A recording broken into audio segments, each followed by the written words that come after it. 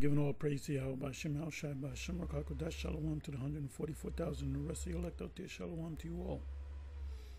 And I'm going to entitle this video Melchizedek and our Lord, which is Yahweh Shai, is one and the same.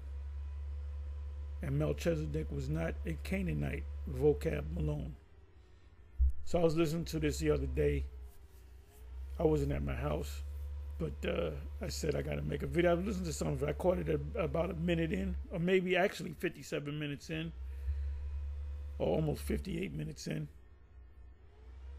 Actually, 57 minutes and uh, 57 minutes and uh, what is that? 50, 50 some odd, 50 seconds into it.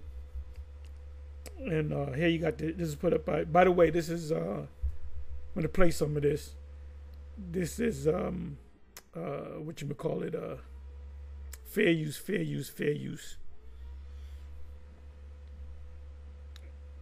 Uh, put up by vocab malone uh deacon talking about deacon Akar, the priest of on because he ain't no priest of israel. He got a bald head.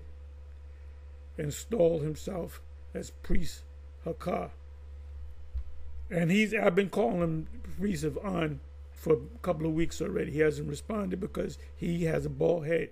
You cannot be a priest of Israelite, Israel of Israelites, of the Israelites. Um, I don't know what you mean by of the, of the order of Melchizedek. I, I don't know what you mean by that. Melchizedek, I guarantee you didn't have a shave his head.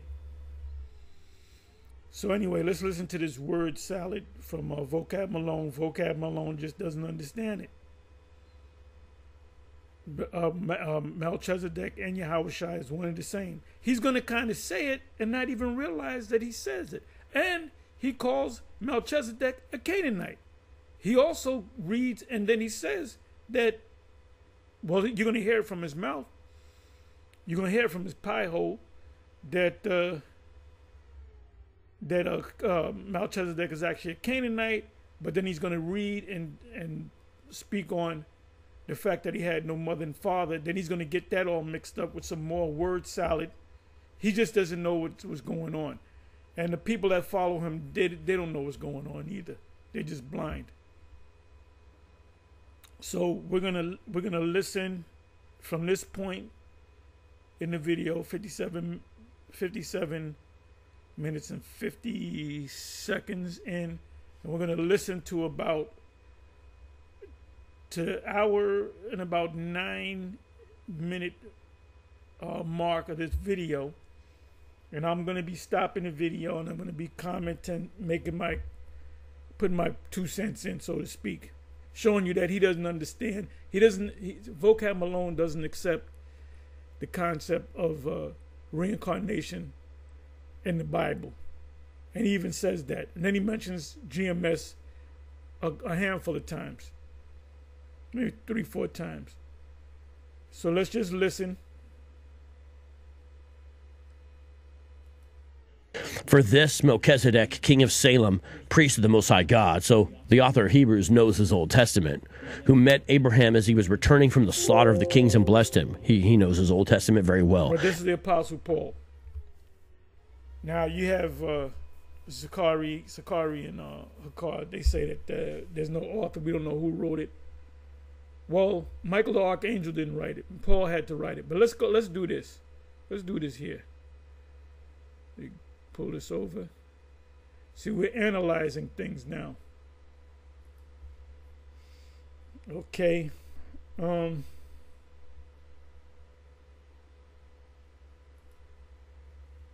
Who wrote the book of Hebrews?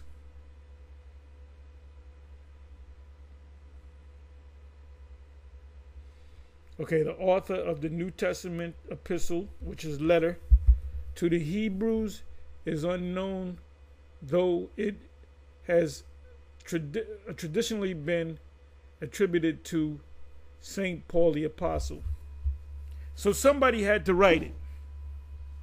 Somebody had to write it. And that somebody had to be an Israelite, and that somebody had to be mm, be, um, honored by the Most High Yahweh Bashem Yahushai and loved and beloved. Somebody special. It just couldn't be any old Israelite, any old Judite or Gadite just come up and write a letter.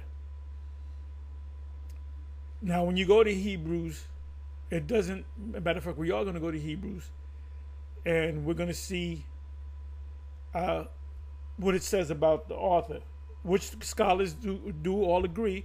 If anybody wrote the book of Hebrews, would not that be the Apostle Paul? If it's not Apostle Paul, could have been the Apostle Peter. Like I said, it wasn't any random Israelite back there that was not of the apostleship that the Mosai just put the spirit on him and, and gave him all this information about Melchizedek. It had to be the Apostle Paul. So this is why they said what they said. Traditional attribution, uh, the epistles to the Hebrews is traditionally attributed to Paul the Apostle. Most uh, Latter day Saints accept Paul as the author of, of Hebrews, or the book of Hebrews. See Bible Dictionary, Pauline Epistles. However, there are some who question whether Paul wrote this epistle because its style and language are different from Paul's other letters.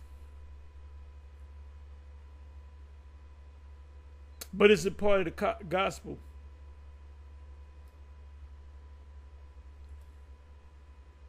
Traditionally, Paul the Apostle, let me highlight this in blue. Traditionally, Paul the Apostle was thought to be the author. Uh, however, since the third century, this has been questioned, and the what is this consensus among most modern scholars is that the author the author is unknown. And see, this is what scholars do. They're not spiritual people. They just that's why they're saying what they say. But let's but let's say it's not Paul. Let's say we find out Paul didn't write it. Peter had to write it. James had to write it. An angel of the Lord had to write it. Yahweh had to write it. Somebody on a high level had to write it. And we know it's not Yahweh Shai because this because this is yeah has to be Yahweh Shai explaining uh, breaking down um, you know going into detail about Melchizedek because not too many people knew about Melchizedek. When you go to the, the Old Testament, it doesn't mention that Melchizedek didn't have a father and a mother. All right, and see, this is what scholars do. They question shit until you get confused.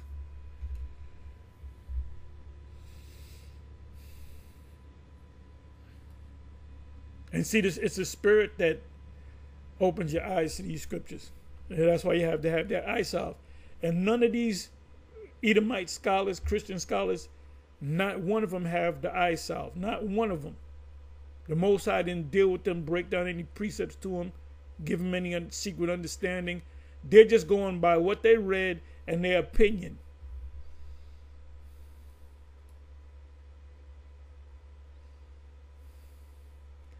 Okay. So now let's come back over here to the video.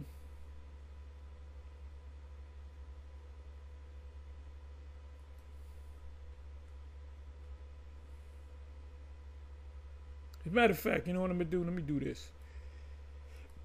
Let me go to Hebrews 7.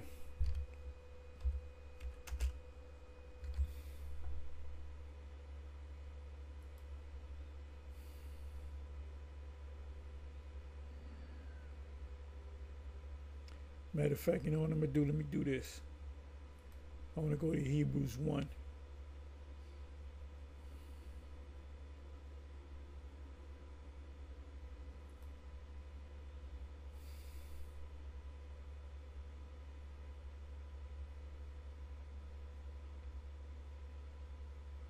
Okay, it doesn't say who the author is. Like if you go to Acts, let me go to Acts.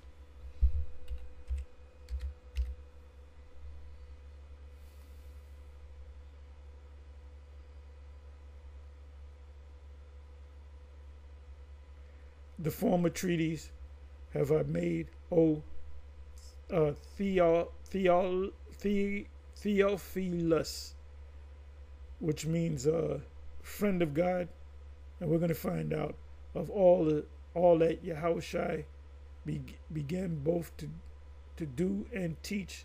So let's go to the word Theo, Theophilus.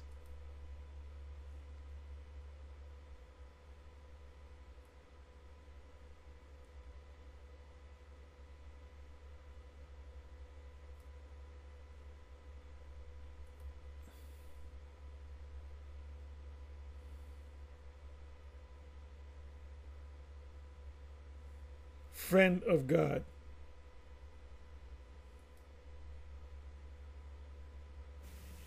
Strong's G 2321. Theophilos. Theophilos. Theophilos. A person to whom Luke addressed his gospel and the book of Acts.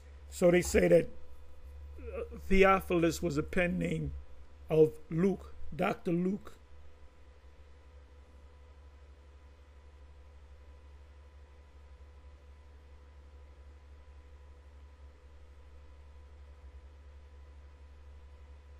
Okay, Luke 1 verse 3. It seems good to me also, having had perfect understanding of all things. Ooh, that's another scripture. Oh, that's another scripture. Luke 1 and 3 to add to you got it 100% truth. 100% truth. Luke 1 and 3. Luke 1 and 3. It said, It seemed good to me also, having had perfect. Ooh, that's a powerful word right there. Having perfect understanding of all things from the, from the very first to write unto thee in order, most excellent Theo, Theophilus, the, Theophilus, friend of God. Like I said, that's supposed to be his pen his pen name. You know, let's do a little bit more. But this, oh boy, oh that's oh this is the good. I gotta remember this. Gotta remember that. Luke one and three. It seems good to me also, having had perfect understanding, hundred percent truth, perfect understanding of all things, not rebuilding the transmission, but all things pertaining to the scriptures from the very first. So y'all got to put that in your mental Rolodex. You can't you can't have 99%. 99 won't, just won't do. 89% can't do it. You got to know the whole book. Got to know the whole book. This is beautiful, man. But anyway, let me do this. Let me do this.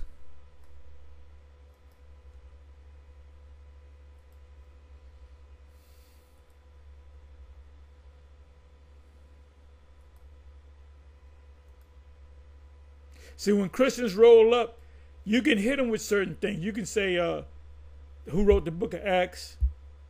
They, they. Well, I'm not sure. You know. Uh, let me do this. Uh, Okay, this Theophil- Theophilus.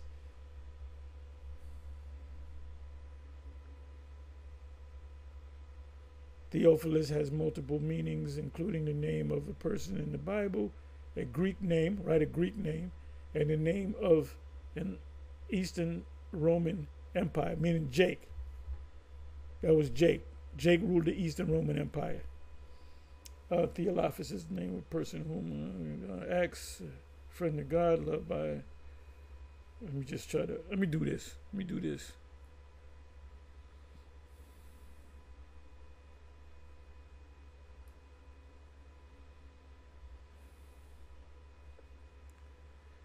So you can either say, scholars would say, okay, who was Theophilus at the beginning of Luke and Acts? Theophilus was a, a high ranking or influ, uh, influential Gentile for whom Luke wanted to provide a detailed historical account of the Messiah and the spread of the gospel. So, like I said, they say that that's Luke's pen name that said that Luke was working with the Theophilus, so Theophilus, Phil, Phileas,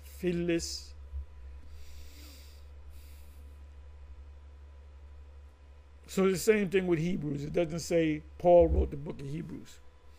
But Scott, most scholars would say that yes, Paul actually wrote it. If he didn't write it, somebody high up in the pecking order wrote that book. But is it gospel? Yes, it is gospel. And Yahushua dealt directly with the Apostle Paul. He didn't so much dealt, he dealt with Peter. He didn't deal with the, the 12 as much as he dealt with, uh, you know, Peter, James, and John. But then he, he really dealt with the Apostle Paul. Because all that information the Apostle Paul had, he, he got it directly from Yahushua. Yahushua supped with him. And Peter even made a statement in, in, in uh, 2 Peter 3, around about the 16, 15, 16, 17 verse, how deep the Apostle Paul was. Why was Paul so deep as far as his letters? Because Yahushua was telling him things. So now let's come back over here. Let's go to Hebrews.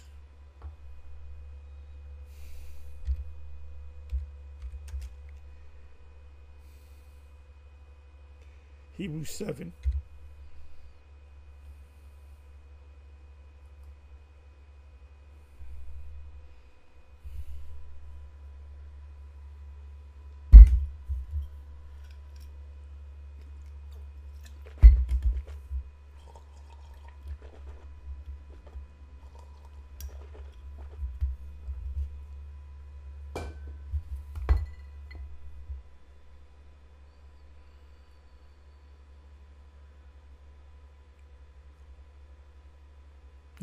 Read the whole chapter, but Melchizedek's priesthood, like like Yahushai. Why was it like Yahushai? Because that was Yahushai. Genesis uh, 14, 17 to 20. For this Melchizedek, which by the way means king of, Melchizedek means king of righteousness, uh, king of Salom or king of peace. Um, Malak, Malak Tazedek is king of righteousness. Malak Shalom is king of peace, which is Yahweh Shai. Uh, he's also known as Prince of Peace. Prince and king are a king dies, the son is a prince. When his father dies, he becomes, or, or he he gives the king gives up the throne because he's a, of a certain age, and the prince becomes a king. So there could be two kings living at the same time. But mostly when a when a king dies, the son of the king then becomes a a, a from goes from a prince to a king. Priest priest of the Most High uh, power, who met Abraham returning from the slaughter of the of the kings, and blessed him. So obvious, obviously, uh, Melchizedek is higher than in rank, in the ranking order of the, of the heavens and the earth over Abraham. Abraham gave him a uh, tenth of all that he had, which is, which shows you that tithes is money too. Don't be listening to IUIC. Tithes is money too, because it said that that um everything that Abraham Abraham had, he gave he gave to uh he gave to um all that he had, all that he had, he gave to ten percent to Melchizedek. That that includes he had gold. Told you that in uh, Genesis 13. He had gold, silver, land, cattle. So so, what, how do you think they built up? This is the question for the IUIC. How was the Vespasian, how was Vespasian's son Titus able to sack the temple? They didn't. They wasn't getting shoulders of bullocks and wheat and, and grapes and stuff like that. They were getting the money. They were getting the, the, the, the, the treasures in gold, gold, silver. The priests didn't have a whole lot of money. They didn't have businesses on the side where they just made all this money. It was the people giving them the ten, their tenth, which was in also in the form of money. What do you think the money change was all about? In order for the people that came in three times a year, Deuteronomy 16 and 16, they had to they had to give blessings in the form of money, tithes, and offerings and gifts come not empty-handed, right? That's that's the Passover. Like I, like I mentioned, Deuteronomy 16 and 16, three times in a year, now the men shall come um, and not come empty handed. So they didn't bring bullocks. Oh, here's half of this. No, no, dumbasses. They brought money. They, they, they brought with them money. And what they did was, whatever lands that they were living in, hear me now, whatever lands that they were living in, they were dealing with that land's money. And then what they would do is they would have to give, you know, the, like I said, the tithes, the offerings, the gifts, come not empty handed. But they couldn't give it in that money because they were giving it to the, the Levitical priests or the priesthood of the temple. So they had to exchange it to get what what's Bill what's what's this guy something Bill Bill still said that ha- he says that he said we remember this the half shekel of the temple which was silver if I'm not mistaken. The half shekel of the temple. Let me do something. So we, we, we, we're going into a little bit of history too.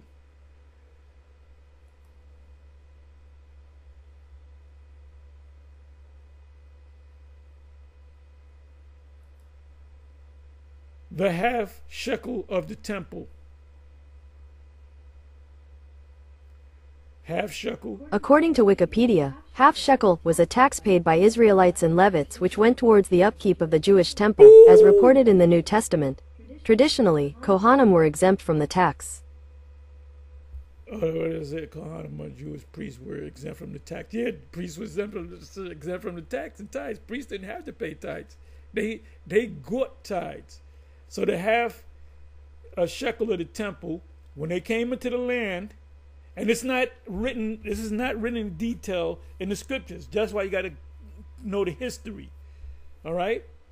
Was a tax paid by Israelites and Levites, which went toward towards the the upkeep of the Jewish temple. So it was uh, Titus that that um after they defeated the uh, Israelites, they went in. They said, "Let's go get the money." That's what they got. They got the, tech, the and then they built. Um, that, that, that's when they built the public works, and I believe, if I'm not mistaken, I'll go into the history.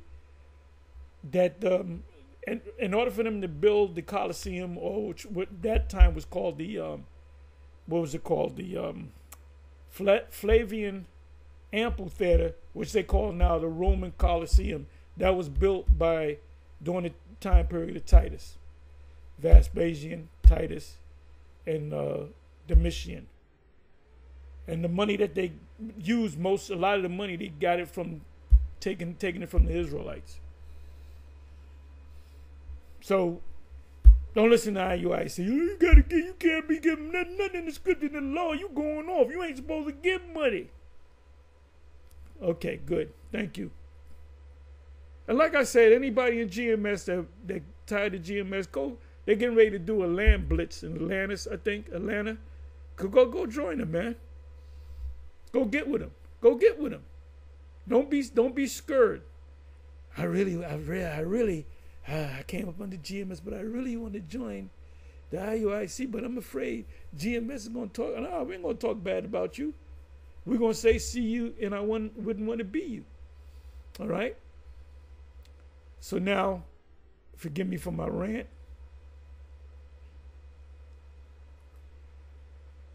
Okay, so it says, uh, so obviously Melchizedek was over Abraham.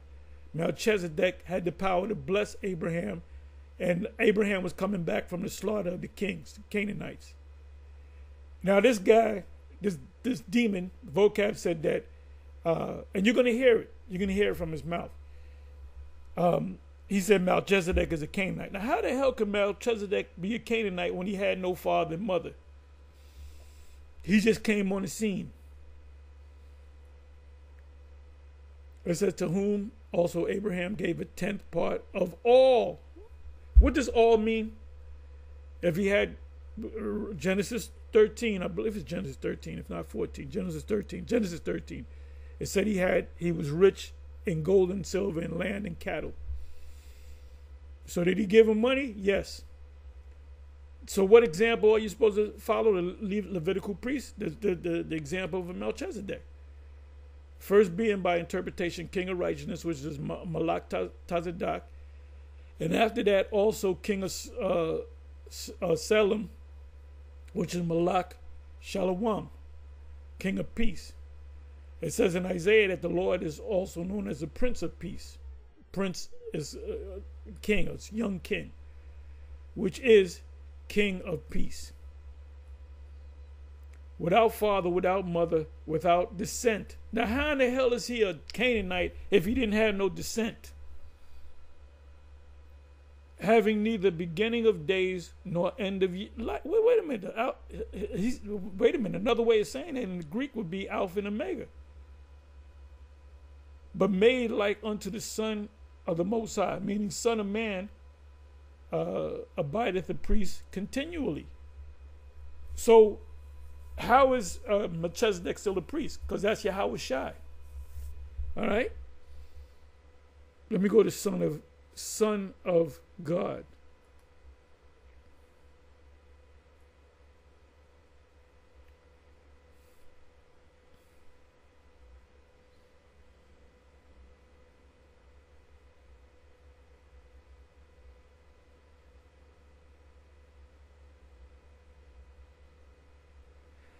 Okay, let me see. Let me go right here, son.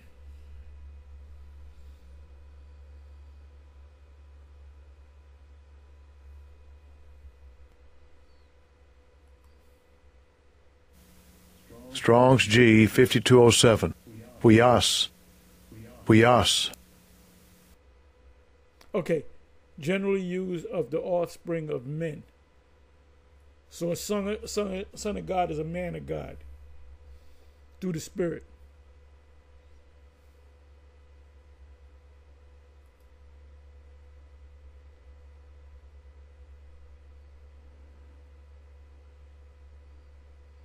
Okay, let me see here. Okay, let me come back over here.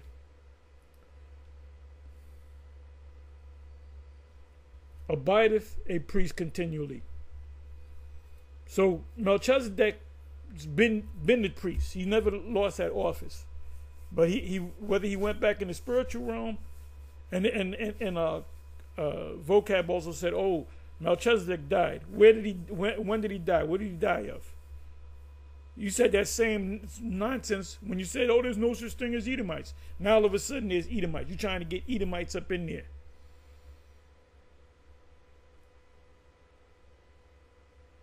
See, we on you, we on you, man. Like Sharp Eye Washington. Look that up. Now consider how now consider how great this man was, because he's Yahweh Shai unto whom even the patriarch Abraham, Abraham gave the tenth of the spoils. And then when he went to war with the kings, the Canaanites, he took what they had. And part of what they had was weapons, garments, money. They, they didn't have cattle. And verily they they are the sons of Levi who received the office of the priesthood, have a commandment to take tithes, which consists of money, silver, and gold, of the people according to the law, that is, of their brethren, though they come out of the loins of Abraham. So who's the high priest of high priests? Melchizedek, which is Yahweh Shai.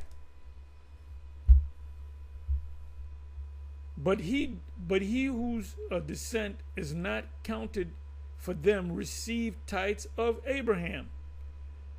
You go back a couple of verses, he had no mother and father. He had no descent. Hey, if he would have did a 23andMe DNA test, it would be a blank a blank page. It says, and bless him that had the promises. And without and without all contradiction, the less is blessed of the better. And here men that die receive tithes, but there he received them, of whom it is witnessed that he liveth, because Melchizedek is Yahushai. And as and as I may as I may so say, Levi, which is the tribe of Levi, or the son Levi, also who receiveth tithes, paid tithes in Abraham, meaning Levi came out of Abraham. Levi would be the the uh, the great was it the great grandson of of uh, of Abraham.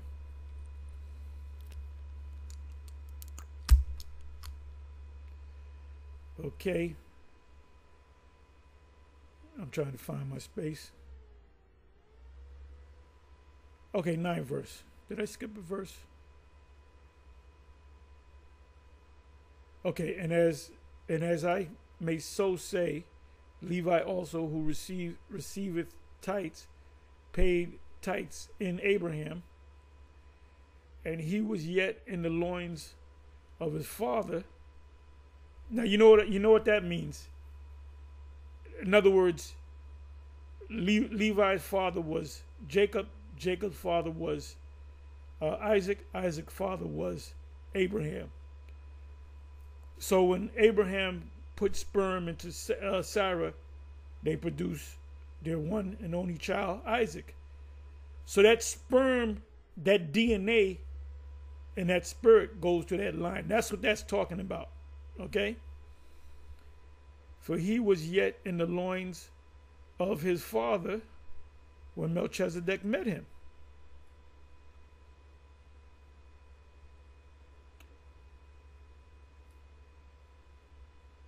Okay, even uh, Vohad even quoted this. The Lord has sworn and will not repent. Thou art a priest after uh, forever after the order of Melchizedek. Now you know what I got to do? I got to go to that. Let me open that up. And let me go to the first verse. Yahweh gives dominion to the king. A psalm of David, a song of David. Psalm means song. Yahweh said unto my Lord. Let me read, let me let me let me try to read that in the Hebrew. My Hebrew is very rusty. Okay, it says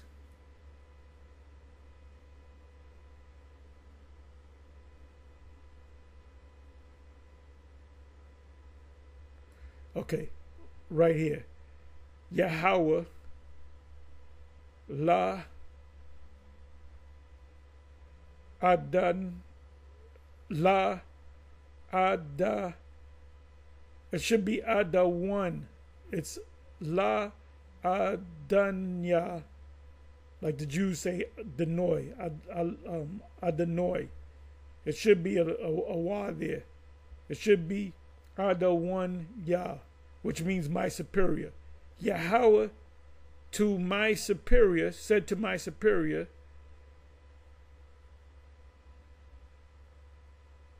Shab, which means to sit. Then it goes on to say, "That's what I wanted."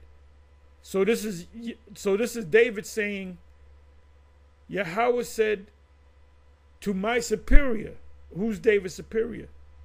Yeah, uh, Solomon, because Solomon Yahweh Shai, that was the savior. So it says, Yahweh said unto my superior, Sit thou at my right hand Who's who's going to sit at the right hand of Yahweh? Yahweh Shai. Until I make thine enemies thy footstool. When is that going to happen? When he takes his place down. The footstool is the earth, and the throne is uh, heaven itself. Yahweh shall send the rod of thy strength out of Zion. Rule thou in the midst of thine enemies. And that's what Yahweh Shah is going to do, and we're going to be joint heirs with that. Thy people, the Israelites, shall dwell, shall be willing in the day of thy power. What does it mean that that day of thy power? is talking about when Yahweh Shai come down, when this destruction come. That's when Jake is going to see it. The ones that are still alive, they're going to say, "Oh wow, the, the, the Lord." Everybody's going to shut their mouths, man. That's uh, uh, what is that? Isaiah 52 13, if I'm not mistaken. It said they're going to shut their mouth when they see him. They're going to say, oh shit. a matter of fact, I'm going to get that. And the, and the beauties of holiness from the womb of the, of the morning, thou thou hast the dew of thy youth. Uh, it says, Yahweh have sworn and will not repent. He said he's gonna do something and he's not gonna he's not gonna turn it. When he says this thing, certain things he repented, right? But there was other things that he said, I'm gonna do this and this is gonna come like this like the destruction, the end of this man's system. He's not gonna repent. If all these Edomites decided to fast and pray and get this out right, they, the Most High still ain't gonna turn it back. Amos 1 and 11. Because they're Edomites, they're not Jake. It said, Thou art a priest forever after the order of Melchizedek. So who who is being talked about here? David is is, is getting this revelation to the Lord and and saying what the Lord told to him, and he says, "This this man that's your superior goes back to the order of Melchizedek. Why? Because he is Melchizedek. He was talking about Chaz, Ch- Melchizedek. Solomon was Melchizedek.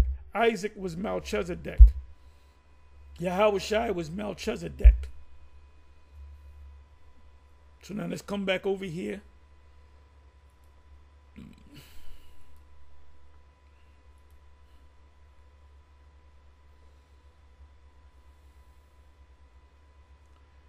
If therefore, if therefore protect, per, perfection, excuse me, were by the Levitical priesthood, because the Levites wasn't priests. They had, they, I mean, wasn't perfect. They needed a savior too. For under it the people received the law.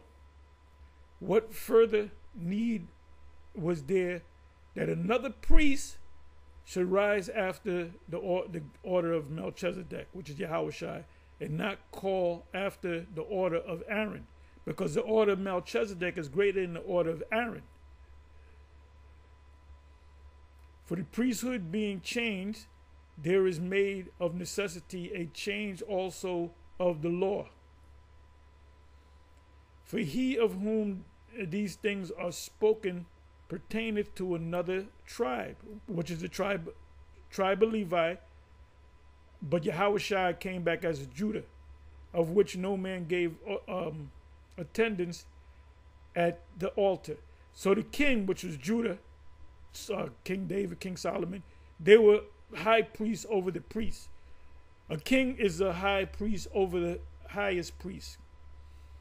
It said, For it is evident that our Lord sprang out of Judah, of which tribe Moses spake nothing concerning priesthood. So it's talking about Judah. Judah is over Levi. And it is yet far more evident for that after the similitude of the similitude means similar to of Melchizedek, king of uh, king of righteousness, there arises another priest who is made not after the law of a carnal commandment, but after the power of an endless life. So who has the power of an endless life? Yahweh Shai. For he testifies that uh, thou art a priest forever after the order of Melchizedek. So who's a priest forever after the order of Melchizedek? Yahweh Shai. And who is Melchizedek? That was Yahweh Shai back then. So, so let me go into this now.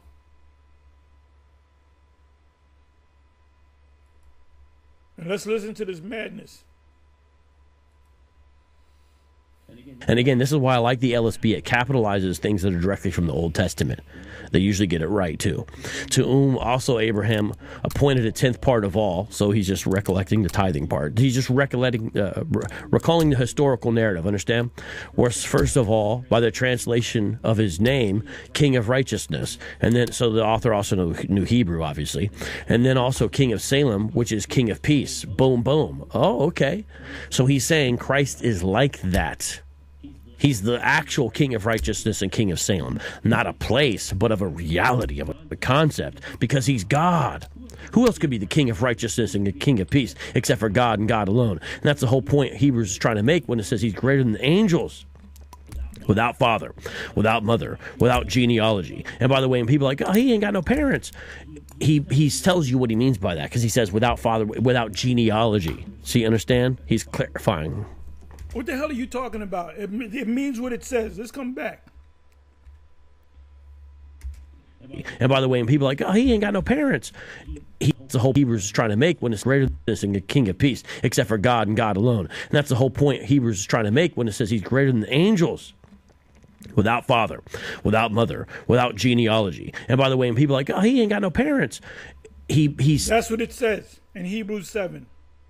Without father and without mother, meaning he he had no he wasn't born out of a woman. He didn't he wasn't in the woman's womb, um, his mother's womb for nine months, ten months. As Solomon said, uh, fashion t- uh, ten months. He just came on the scene like a, he was an angel. All Israelite men, women, and children are angels coming in bodies. When you when your your body gets old and you die, your spirit goes back into the body that's eternal in the heaven for you. You go back to that same uh, celestial body, angelic body, in the spiritual realm. tells you what he means by that because he says without father, without genealogy. So you understand? He's clarifying.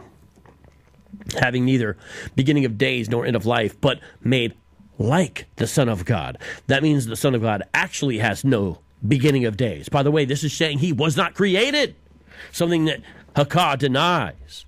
When it, when it said made like unto the Son of God, meaning you were like an Israelite. We're sons of God. We're sons of God.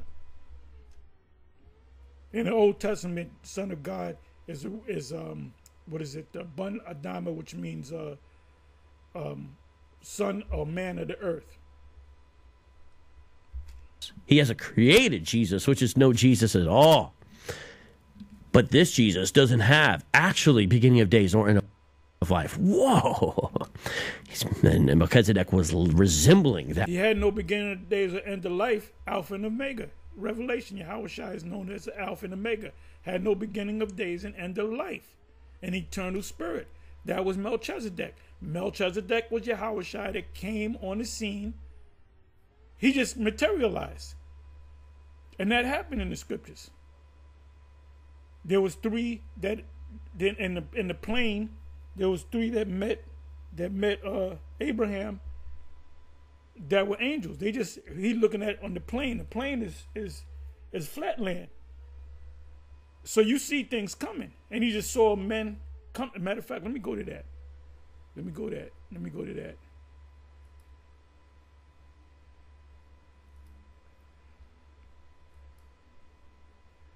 Okay, uh, the three men that met Abraham.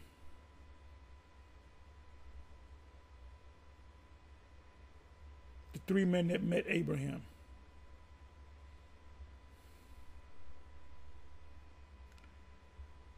Oh, let me see. Okay, it's in. You know what I'm going to do? Let me do this. Let me go to Genesis 18. Mm.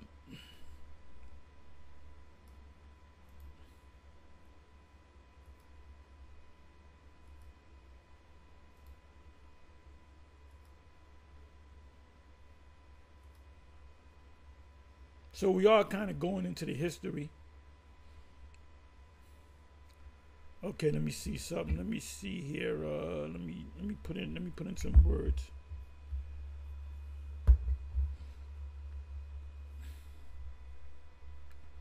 Let me put in the word eight. Let me see.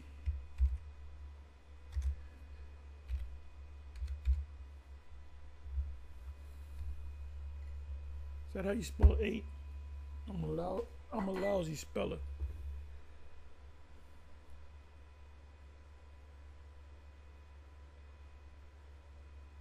Okay, that's not it. Um, uh, let me see if the word calf is in there.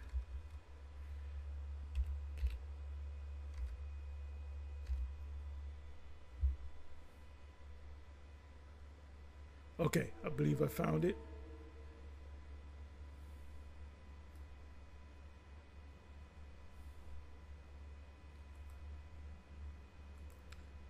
Okay, that's 7 verses 7 and 8. Now let me look up the word plain.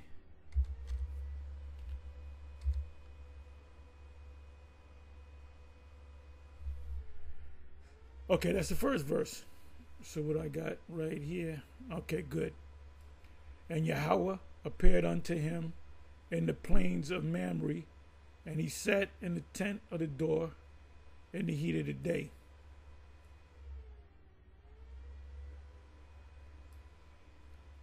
And he lifted up his eyes and looked, and lo, so a plain is a flat land. You can the flat land where there's no mountains, no hills, or anything. You can see you can see for miles. It says, and lo, three men stood by him, and when he saw them, he ran to meet them. So they were distant from him, and they just came on the scene from the tent door and bowed himself toward the ground. And he said, My Lord, meaning my superior, if now I have, so he knew that th- these were angels. Uh, I have found favor in thy sight. Pass not away, I pray thee, from thy servant. So it doesn't say that that was Yahweh but the, the third man was Yahweh and there was two angels. The two angels, it doesn't tell you that in, in, Lot's time, but the, there were two men. There had to be the same two men. So Yahweh came with with two other angels with him. Doesn't say whether it was Michael, Gabriel, Raphael, whatever. But um, like I said, it doesn't say it was Yahweh but it had to be Yahweh It says, uh, and let it, let a little, and, and this is, and, and, and these three didn't have any father or mother because they were angels that just came on the scene as grown men. The same. So how, is it hard to believe that Melchizedek just came on the scene? Because you're not you're not spiritual. You're not a spiritual man, vocab. You can't see things in the spirit. It says, Let a little water, I I pray you, be fetched, and wash your feet, and rest yourself under the under the tree and I will fetch a morsel of bread and comfort ye. And they got to think certain foods are called comfort foods, right? When you eat, you get comforted, right? Uh, comfort your heart. After that, ye shall pass on. For, for therefore are ye come to your servant. And they said, So do as thou hast said. Go ahead, get the food ready. All right? So wait a minute. Can angels eat food? Yes, they can eat food when they're in human bodies. They don't eat food in heaven. I had that argument with High Priest Ashaya and High Priest uh, Arian, High Priest Ashaya. He was talking about they eat up in heaven. I said they don't do they they do not eat up in heaven. Those are spirits, man. Same the same argument. It was High Priest uh, Arian, High Priest Ashaya they were saying that that in the ancient world, Israelites sentenced you to prison. Like they'll put you ten. I said, no, there ain't no sentencing in prison. They don't sentence you for ten years. They you you go to um, city of refuge, man. All right. They don't they don't say, okay, you're sentenced because you did this. We're gonna sentence you to twenty years to life. They didn't do that. You either got put to death, which was a capital capital crime, which was criminal when you kill somebody or whatever. It's uh, certain things that you committed, adultery, you put to death, or you had to pay back. That that was civil. When you stole a cattle, you had to pay back for. You you know what I'm saying? So there was no prison. There was no okay. King David sentenced you to ten years. You can get paroled in seven if good. No, that didn't happen. They ain't put no orange suit on you with fucking fringes on with fringes on it. Blessed fringes. Excuse me. So the angels, did the angels eat? You damn, you damn right they eat because they were in a human body. So they said, well, while we're in this whole human body, let's eat. They said, and Abraham uh, hastened into the tent unto Sarah and said, make ready quickly three measures of fine meal, knead it, and make cakes upon the upon the, the hearth, which is the, with the ancient oven. And Abraham ran unto the unto the herd and fetched a calf tender and good. and gave it unto a young man, and he and he hasted to dress it.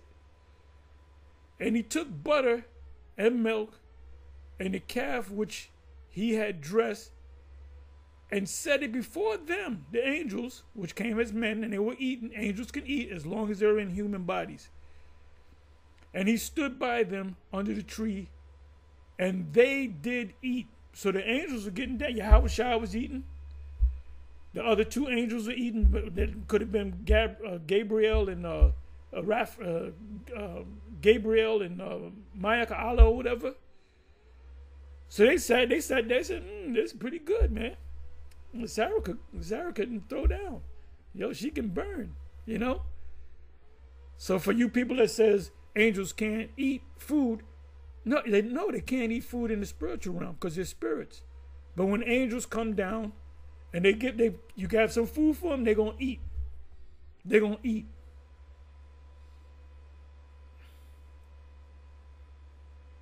Now it does say calf, so that's a controversy. We got to get in the word calf. Because you know what the Lord says about the calf. But they didn't receive all the laws. So let's see what calf translates to.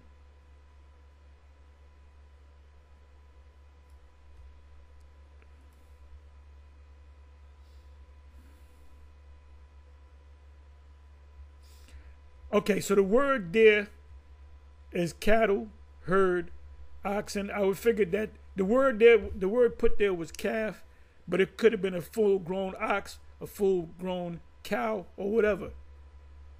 Oxen, which I'll tear some oxen up. Ox.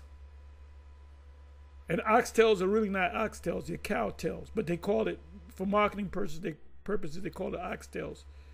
Cattle genetic place uh, uh, saying a herd herd of cattle.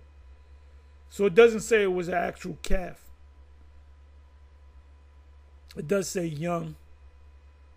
Let me do this. That's why you need this tool the blue letter. Okay that's not what i want. Let's come on back So these are angels in the form of body. It well, show me that in the scripture where it says they were actual angels and they were in the heaven world, and um, you know, they could have been Canaanites down the street. There's certain things that are in the Bible that you have to. There's a term called as as a scrap um damn, extrapolate, extrapolate. Uh, let me see if I'm saying that word right.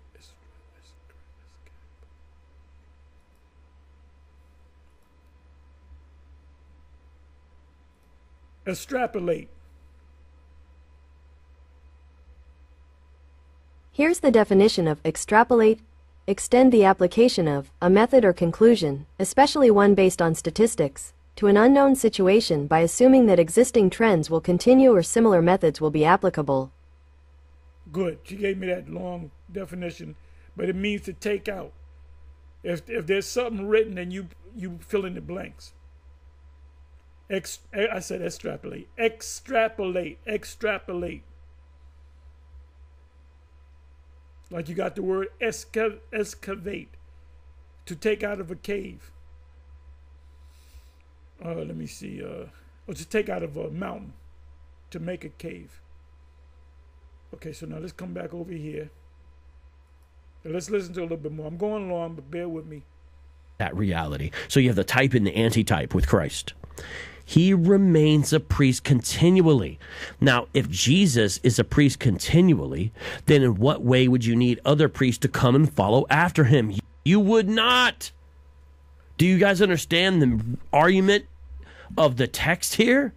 He is a priest continually because he does not die. So, how is he the first of an order of priests? He's not Mormons. He's not Hakah. The Bearskin 3-in-1 water hoodie blocks wind and regulates heat 10 times better than regular fleece hoodies. And you can't twist this text to give yourself power. And that's what people are running around here doing. Come on, man. Come on, man. remains a priest continually. Now observe how great this man was to whom Abraham, the patriarch, gave a tenth of the spoils.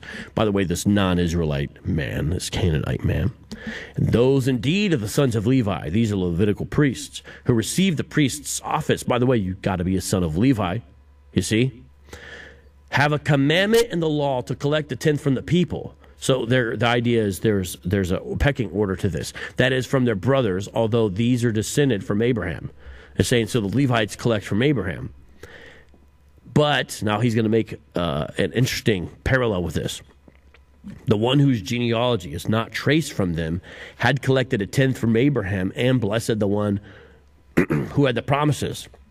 So the idea is all the Levites are in Abraham, and yet he's the one giving the tithe to Melchizedek, recognizing that one is greater. But without any dispute, the lesser is blessed by the greater. He's showing that Melchizedek is greater than Abraham in a way. What do Because you mean in a way? It, it either is or it ain't. Why why was Abraham uh, Melchizedek greater than Abraham? Because that was Yahweh Shai. he's a type of Christ. He's not a type of Christ. He is the Messiah. He's the Messiah. And in this case, moral men receive tithes. but in that case, one receives them of whom it is witnessed that he lives on. What's he saying? He's saying he's not a mortal man. Who? Christ, not Melchizedek. Melchizedek died. That he's not still here to. When did he die? Vocab. That's a vo- That's a that's a uh, a title in itself. When did Melchizedek die? Like you said, the Edomites all die. Oh, the Edomites are not here. Did did did, did, the, did Melchizedek die when the last Edomite, the last Herodian, uh, Herod, uh, family member of the family of the, of the Herodians die? When did he die? Vocab. When did he die? When did he die? He didn't die because he's Yahweh Shai. today. Because if he was, then why would Christ need to be here if Melchizedek is still. Do you see what I'm saying? So clearly he died. But Christ is a priest forever because he doesn't die. No one ever dies. Yahweh Shai still live, but he's not here. He's in the spiritual realm. No, no one really dies. The scriptures say they go to sleep. after the order, like it. Now, if you say you're a priest after the order of Melchizedek in a literal sense, what are the qualifications? Because the qualifications from this appear that you've got to live forever. And only one could do that. That you got to be the king of righteousness. Yeah, only one could do that. And the and the king of peace, only one could do that. You understand? One who's greater than all the priests, only one could do that. Jesus Christ, who is God. You don't get to be part of this conversation. Don't forget Jesus Christ, I hate to say that, who is a God. Not God, he is a God. Just like I am a God. Just like you are a devil. It we read about in Psalm 110. Are you guys feeling this? This is powerful. This is powerful, important stuff. And to twist this so you can have a new title, shame. Shame. Shame. Now listen to the author of Hebrews. This He probably got that from the movie Apocalypto. He got it from the when they when they were they're sacrificing them. The guy said, "Shame, shame, shame." I bet you he got it from that movie. subtle, ingenious theological argument that he makes. So to speak, though, through Abraham, even Levi, who received tithes, paid tithes. It's a point that one greater. For he was still in the loins of his father when Melchizedek met him. Now, if perfection was through the Levitical priesthood, What does it mean by you still in the loins of the father when Abraham met him? When you when you understand that, and I explained it early in this video, Joseph or um, Yahweh's father was Joseph. Was um, Joseph's um, seed still in the in the in the in the, in the, in the um uh, still in David's, you know, in, inside of David? Yes. Because how does it work? The, the, the DNA, the spirit. Okay? By the way, even in verse 11, it lets you know the law was not perfect because he's pointing out the flaw, the problem. That's why it's a temporary system. It's why each covenant is greater and they're progressive. He doesn't understand that. The difference between the New Testament and the Old Testament is, which we're not in the New Testament. He's gonna say that we in we in the New Testament. He doesn't understand. The difference is the change of the from the new the from the old to the new is that he's gonna program us to keep the laws. It's not talking about I had to take some laws out and I messed up, do a redraft or whatever. No. Understand? Watch this.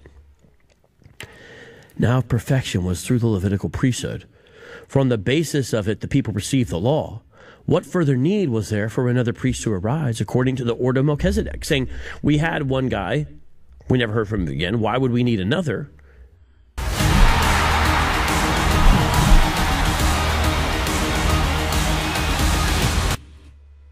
Unless there was a flaw, a problem, a gap and not be designated according to the order of Aaron, because he's not a son of Aaron. Jesus isn't. He's of Judah. Understand? For when the priesthood is changed. But the law can never change. Isn't God the same always? Yeah, God's the same always. And he's had one plan from the beginning, and we're just getting to see it unfold. That's what the covenant's unfolding before our eyes and in history is all about. And part of them is a change in the priesthood.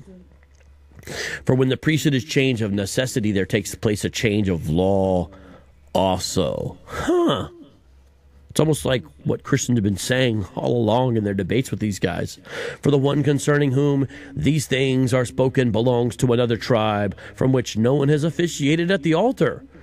So, you know, there's a modern day uh, critique that Jewish people offer to Christ. It's like, oh, you say he's a priest who offers sacrifices, but he's not even a son of Aaron. He's not, he's not a Levite. Well, they're right. But then we ask him, what's going on in Psalm 110 here? ask someone who practices Judaism to deal with Psalm 110. It's a mess. I'm, I'm just, I'm just saying, it's a mess. I asked a guy today. He had no idea what I was. This is a very faithful religious Jewish person. He didn't have any idea. He did. He wasn't familiar with the verse. He's going to have to ask a rabbi.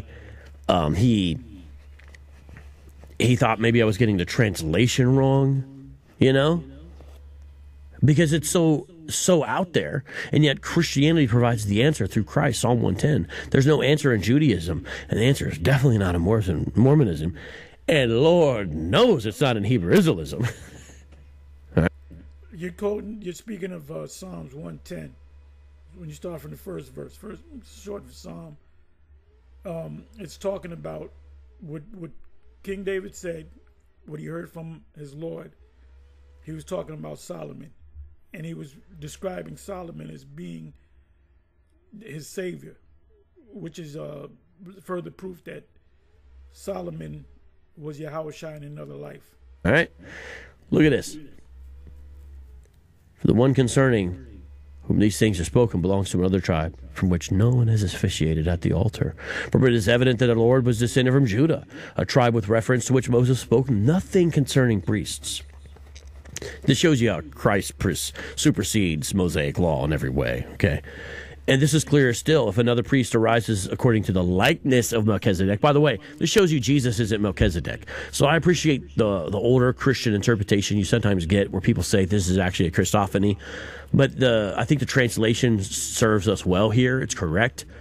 It's another priest, so it's not the same guy, and it's in the likeness of Melchizedek. So it's not Melchizedek. To me, that's really definitive of this whole discussion. Also, the fact that he died, or otherwise it wouldn't make sense. The argument about Jesus never died. I want you to prove when did when did he die? When did Melchizedek die? If anything, Melchizedek just just like the three angels that came to uh, Abraham, eventually they went back into the spiritual realm. They got beamed up, literally. So Melchizedek, just as just like Elijah, just like Enoch, they would take they were translated so Melchizedek was translated back into the spiritual realm. And he came back as Isaac. He came back as Solomon. He came back as Yahawashi. Die. Understand? Who has become such not according to the law of physical requirement, but according to the power of an indestructible life. So, why does he get this office of the order of Melchizedek that is mentioned so strangely and bizarrely out of nowhere in Psalm 110? It's because he never dies, such as the Adonai, who is having this royal dialogue with Yahweh in Psalm 110. That's the point. Hakah, do you have an indestructible life? do you do you understand? No one gets to be in this this order except for Jesus. He's the only one who qualifies and meets the requirements. It's bla- Yeah, because that's him, Melchizedek. He's there. The order after the order Melchizedek is Yahawashi. What is was in fact Melchizedek. blasphemy to say that you're part of this. It is witnessed about him. Verse 17 of Hebrews 7 says, You are a priest forever according to the order of Melchizedek. So that's the author of Hebrews quoting Psalm 110:4. Do you see how the scripture fits together? For on the one hand, there is a setting aside of a former commandment because of its weakness, weakness and uselessness. in the verse he's appealing to for his power and authority comes our new covenant reality that we've been pointing out to these guys since jump. There's a setting aside of a Mosaic commandment because it's weak and useless in this instance. You guys understand? Christ is better and bigger than the Old Testament law. Verse 19 For the law made nothing perfect. And on the other hand, there is a bringing in of a better hope through which we draw near to God. By the way, Roman Catholics, this is why we don't need the old priesthood system that you're kind of trying to imitate with your system of priests. Yeah, that's called a liturgy. Look that up. Although that's another issue, because we have one high priest who sits down, that means his work's done after the order of Melchizedek, which is an indestructible office because he's indestructible, so there's no one following after him. So that whole system is bunk. And that's why I thank God for Reformation Day popping off here in a second. By the way, I got a couple videos. They're archive videos that I'm re releasing about Reformation Day coming up, and a scary one for Halloween because it's about going to a Bob Larson Reformation. Um, let's look that up. I already know what it is. It's the Protestants that broke from the uh, Roman Catholic Church, which his doctrine is Roman Catholic. They just changed some things. That's all they did. So let's go ahead and, and prove that. Reformation, meaning. Here's the definition of reformation the action or process of reforming an institution or practice. A 16th century movement for the reform for the so this so we're talking about the 1500s reform of abuses in the Roman Catholic Church ending in the establishment of the reformed and Protestant churches which this guy is a Protestant by by the way little fact here factoid I was raised as a, a Protestant. Can you believe that? And I'll say this: the Protestants did go into Scripture. They did read Scripture. They did, they wouldn't like the Baptists. And my my parents said, "We ain't going to no goddamn Baptist churches and nothing but dancing and singing. We're gonna learn the Scriptures." So, let's go. So he's nothing but a reformist, Protestant slash reform reformist. That's why you have the term reformation. He's a Roman Catholic. They just took, I don't like this thing. We're going to take that out. Oh, the Apocrypha. No, we ain't dealing with the Apocrypha. That's why he gets on us about the Apocrypha. But you are really a, deep down, you're a Roman Catholic. Exorcism, who basically gets his ideas from Hollywood. So I got a lot of stuff popping off on this channel. You definitely want to check. Plus, November 1st, my birthday's coming up, so I'm going to drop a book list because I want you guys to buy me some books. Anyways, I'm getting off topic here. okay. Well, he's, he's, celebrating his birthday. That means he's he's happy to be alive, and he was happy he was born. Well, Job would say different. Job, you know, I hate to beg, I beg to differ with you, but as the saying goes, Job said he hated that he hated he despised the fact that he was born. He said he wished he was a, a you know, um, miscarried. Read that in Job uh, chapter 3. Now he's looking forward to his birthday because he's blessed.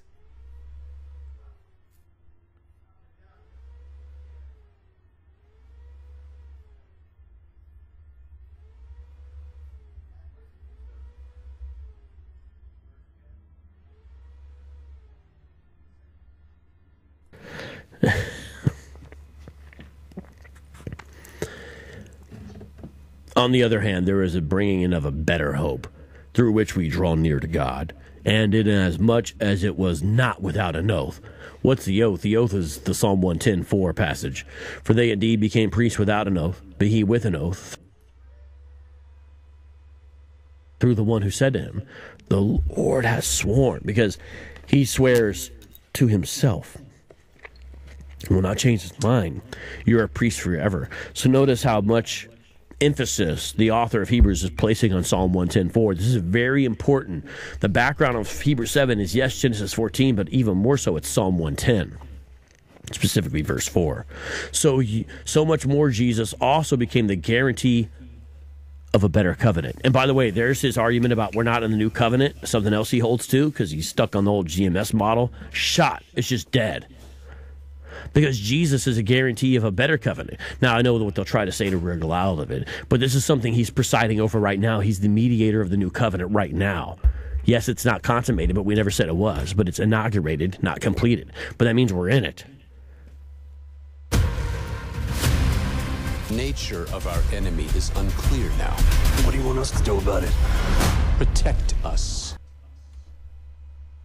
Another damn commercial. Because the old's done away with. And the former priests, notice how it says former. That means they they ain't relevant. They ain't they ain't the business no more. Former priests, on the one hand, existed in greater numbers because they were prevented by death from continuing. So you had to have a bunch of them. But Jesus, on the other hand, he's doing a compare and contrast. Understand? Because he continues forever, holds his priesthood permanently. Now, if Jesus holds his priesthood permanently, he's not relinquishing it. So Joseph Smith doesn't get to pick it up, and Hakah doesn't get to pick it up. No one gets to pick it up because he ain't putting it down. You heard? Therefore, he is able to save forever those who draw near to God through him. Hakah, can you do this? To be part of the order of Melchizedek, if you want to jump on, you got to be able to save forever those who draw near to God through you. Drowning men can't rescue other drowning men. That's a boat you find yourselves in. Since he always lives to make intercession for them. No one is making intercession besides Christ. That's why we don't need the Mass and the whole Romanist papal system. And we definitely don't need Hakah. We need Jesus. That's fitting to have such a high priest, holy, innocent, undefiled. See, this is per- his perfection, separated from sinners and exalted above the heavens. No one meets these qualifications. If I want to know what the qualifications are. Now, there's a point where he says that uh, Melchizedek is a Canaanite. I, I, don't know if I passed that point. Um, let's hope I didn't. But he actually says that uh, Melchizedek is a Canaanite. But then he says he says that uh, that uh, well, he says he's he's a, he's a Canaanite, but he had no father and mother. It's impossible to be from any tribe or nation if you have no father and mother. But I don't know if it if it said that. I spoke on that. But I mean, you can go back and listen. I may I may drop back a, a bit. For a Levitical priest, I might read the book of Leviticus and such. But I'm going to know that qualifications, requirements for a priest after the order of Melchizedek. If you want to look at it that way, I'm going to go to Hebrews chapter 7 based upon Psalm 110:4 and guess what? Every human being fails save Jesus. He does not need daily, like those high priests, to offer up sacrifices, first for his own sins and then for the sins of the people. Verse 27 destroys the wicked One West doctrine even further. A lot of you watching this live chat, you didn't know that One Westers teach that Jesus Christ was once Solomon in the pre incarnation before he got reincarnated. And we still teach that. For the record, we still teach that. And you can't see it because you're not one of the elect. You're not an Israelite, first off. And if, even if you wasn't Israelite, you're not one of the elect. And before that, Adam. That's what they teach. the genealogy in Luke chapter 3 gives you tells you that Adam is the son of God. The, the very last verse um, in um, Matthew chapter 1, from the first verse or the first two verses, it says the genealogy, it says Jesus, this, it says the son of Abraham. It was just say the, the, the son of Abraham and the son of David. That beloved son was was uh, was Isaac, which is Yahawashi. That's why the Lord told him to to uh, sacrifice him. Then he called the angel to pull him back, because that was a picture of him. Abraham was almost likened to the played the character of the heavenly Father, and Isaac played the char- character of his beloved son. So the so Isaac was actually Yahawashi. Guess what? They teach that since he was Adam and then Solomon, when he died on the cross, he had to die for his own sin first. What a wicked doctrine, straight from the pits of hell. That's what Hakah believes. You say that because you don't understand. What does it mean? Matter of fact, let me do this. It's either stripe or stripes. It's actually in uh, Second Samuel seven and fourteen. Matter of fact, let me just do this. Let me do it this way.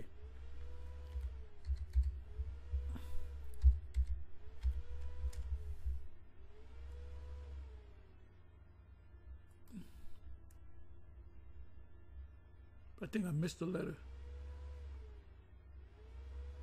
Okay, let me do it this way.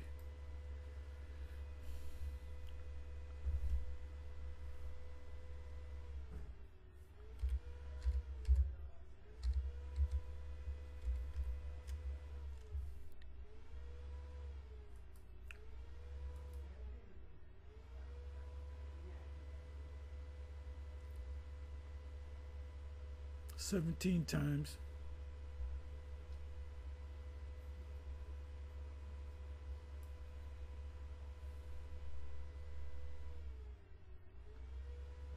I will be his father, and he should be my son. This is Yahweh, Yahweh talking. If he committed iniquity, this is before it was, he was talking to David. I will chasten him with the rod of men. I will chasten him with the rod of men, and with the stripe, the stripes of the children of men. If Solomon committed iniquity, did not, did not Solomon commit iniquity? Yes. So when did he get um, hit with the, with the stripes of men? Matter of fact, let me do this. I know I'm going long.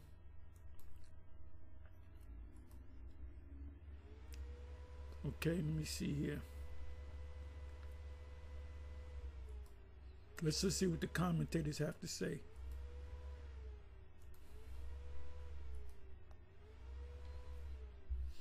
Let me just throw it in. I'm not even going to put commentator. Okay.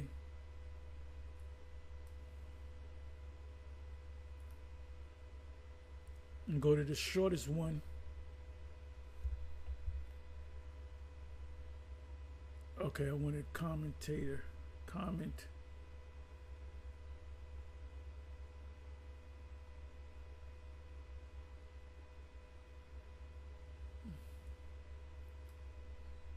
I'll be a father's.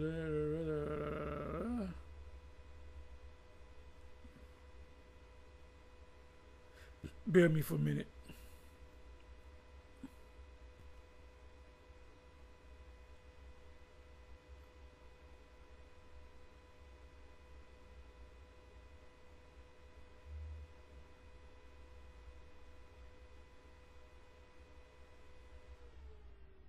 Okay, if he if he commit, I found it. A warning that this high this high dignity will not exempt from him from the danger of sin nor from its punishment.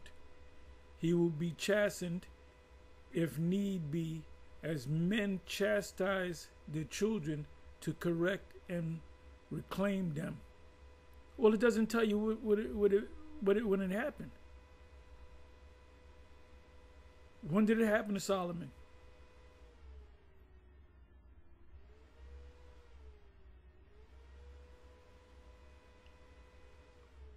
Didn't happen. So so Solomon, the Lord promised that if he committed sin, he gonna he gonna you know he gonna he, he's gonna have to deal deal with it. He did it when he was Yahawashi. Let me bring this back. Jesus. That's fitting to have such a high priest, holy, innocent, undefiled. See, this is per- his perfection, separated from sinners and exalted above the heavens. No one meets these qualifications. If I want to know what the qualifications are for a Levitical priest, I might read the book of Leviticus and such. If I want to know the qualifications, requirements for a priest after the order of Melchizedek, if you want to look at it that way, I'm going to go to Hebrews chapter 7 based upon Psalm 110.4. And guess what? Every human being fails save Jesus. He does not need Guy could sound like Captain Kirk and shit. What's the actor's name? Help me out, y'all. I can't think of his name. I think about only name that comes is Leonard Nimoy. What's this guy? Uh, damn, can't think of his name. daily, like those high priests, to offer up sacrifices, first for his own sins and then for the sins of the people. Verse 27 destroys the wicked One West doctrine even further. A lot of you watching this live chat, you didn't know that One Westers teach that Jesus Christ was once Solomon in the pre incarnation before he got reincarnated. And before that, Adam. That's what they teach. Guess what? They teach that since he was Adam and then Solomon, when he died on the cross, he had to die for his own sin first. What a wicked doctrine straight from the pits of hell. That's what Hakah believes because he was taught that in that cult GMS and he's still teaching it at GHS. That's what he believes. That's what he teaches. Wicked. And this contradicts it. Jesus didn't have to die for his own sin first. You liars first for his own sins. He didn't have to do that. It's saying it's saying he doesn't. This is what's called a what's it called alpha privative. I think it's a that's the these doesn't have to do this, not this. You know, he does not need daily. Does not need like those high priests. Does not need to offer up sacrifices. Did not need to die first for his own sins or pay for his own sin first. Does not need to do this. Then for the sins of the people, he doesn't have to do it in that order because this he did once for all when he offered up himself. He is a sacrifice, not just the priest. And then it's done and it doesn't ever happen again. For the law appoints men as high priests who are weak. But the word of the oath, which came after the law, because of Psalm 110, appoints a son who has been made perfect forever. Whoa! This is the most fire, the most fire thing. This got me excited. Let me play some. Let me play something. Let me play. Okay, now we're gonna close on that. That's all. Eh, you know, this is just commentary uh, based upon this video right here. So with that, I'm gonna say shalom. I know I went long. Please forgive me for going long. Shalom. On to the next shalom.